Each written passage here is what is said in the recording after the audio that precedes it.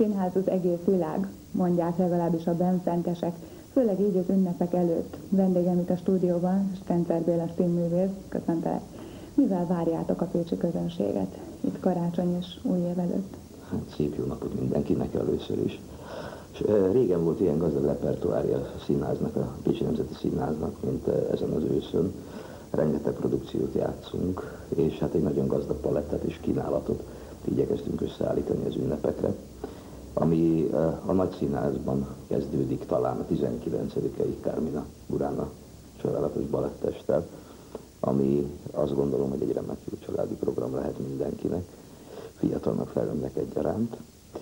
És természetesen nem maradhatnak el a nagy előadások, hiszen az ünnepek programjában helyet kapott, ezt már talán köztudott, hogy utoljára Egedűs a háztetőn játszok a Csárdás királynőt, és hát új bemutatóinkat is megtekinthetik természetesen az ünnepekben, így a Lovakat lelövik úgy egy című zenés játékot a Nagy Színházban, a Don carlos amit most mutattunk be múlt héten, az Otellót, a Kamara Színházban pedig a tizedes meg a többiek van műsoron, bár arra már nem nagyon van jegyünk.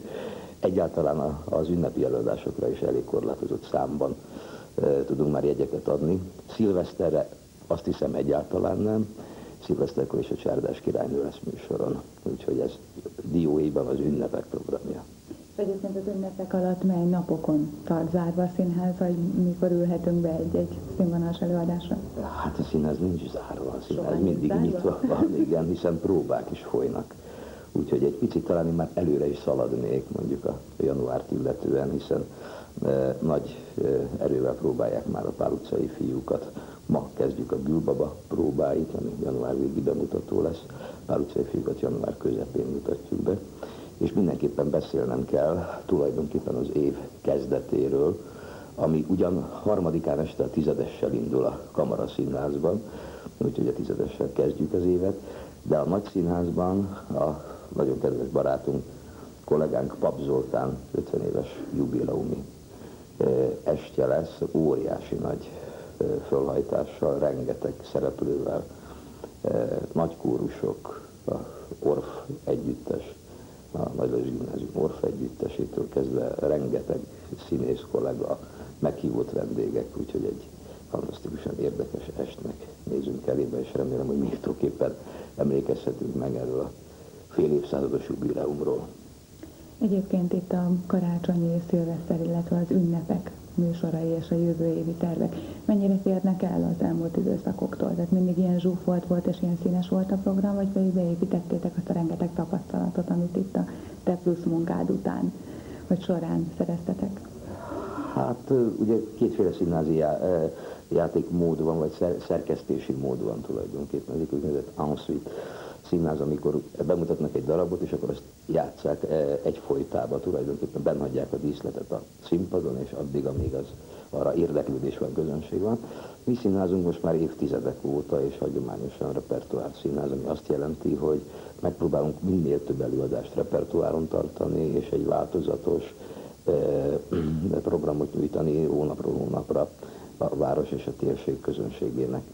Ez picit bonyolultabb és nehezebb, hisz elsősorban műszakilag, hiszen mm, reggel, délután építeni kell műszaki kollégáinknak, ami bizony nagyon sokszor egy erőt próbáló feladat, de úgy gondolom, hogy egy sokkal színesebb és érdekesebb havi programot tud a közönség elé tárni. Hogy most idén ilyen nagy a, a, a választék, az annak is köszönhető, hogy e, nagyon sok előadást kellett az elmúlt évadból áthoznunk. Nem tudtuk még úgymond kijátszani, tehát még érdeklődés, nagy érdeklődés mutatkozott iránta, de lassan most már azért jönnek az újak. Tehát ezeket a tavalyi előadásokat, tavalyi bemutatóinkat uh, utoljára láthatják a nézők decemberben, illetve januárban, mert attól kezdve már egyre inkább majd az új bemutatók, az új operett, az új balett következik majd. Az egérfogót nem is mondtam, az egérfogót is játszok még. Most decemberben és januárban lesz egy szabad előadása, mert nagyon sokan nem látták, hiszen ifjúsági bérletben játszottuk idén, és akkora érdeklődés volt rá, hogy január 9-én lesz egy a közönségnek szóló szab, úgynevezett szabad előadás, nem bérletes előadás, amit hát mindenkit szeretettel várunk, mert természetesen. Egyébként mi a tapasztalatotok? Szóval ilyenkor engedd meg, hogy visszatérjek egy kicsit az ünnepekre. Mire ül be inkább szívesen a közönség? A vidámabb, populárisabb darabokra, vagy inkább a komolyabb, nehezebb műveket szeretik? Én azt gondolom, hogy a jó előadásokat szeretik. Természetesen, hogy, hogy azért az operetnek van egyfajta privilégium az ünnepekben is, illetve azoknak a, a zenés szórakoztató előadásoknak. Ide sorolnám mondjuk a hegedűs háztetőn is, amiért nem feltétlenül egy ilyen felhőtlen, kacagtató, végkifejletű történet. Én azt gondolom, hogy nagyon sok városban egyébként az ünnepekben zár, zárva tartanak a színezet, nincs a Pécset nagyon nagy hagyománya van annak, hogy karácsonykor, szilveszterkor, tehát az ünnepekhez kötődően az emberek színházba járnak. Nagyon sok családban ez a karácsonyi ajándék, hogy, hogy színházi jegyet vesz a család, és kitüntetett alkalommal egy évben egyszer, mondjuk, de lehet, hogy többször is persze, de színházba jönnek, és mi igyekszünk ennek az igénynek megfelelni. Egyébként a gyerekeket az ünnepek alatt várják előadások? A gyerekeket a Bubita bábszínházban várják, úgyhogy a bábszínház is természetesen dolgozik a téli szünetben, úgyhogy a bábszínház nagyon, ugyancsak nagyon gazdag repertoárral és műsorral várja a gyerekeket. Azt említett az előbb, hogy a szilveszteri előadása már minden jegy elkelt. Mi az, amit még ajánlani tudunk itt az ünnepekben, illetve az év hátra levő részében? Mire mehetnek, mire még biztosan kapnak jegyet? Hát még azt gondolom, talán szilveszterre is van jegyünk, de nem, úgy nem kakasülőre van helyünk. Ugyanezt mondhatom körülbelül a, a hegedűsről is, és a, a, a 25-e esti csárdás királynő, 26-e esti csárdás királynő, de 26-a délutánra például még tudunk talán jobb jegyeket is adni a csárdás királynőre.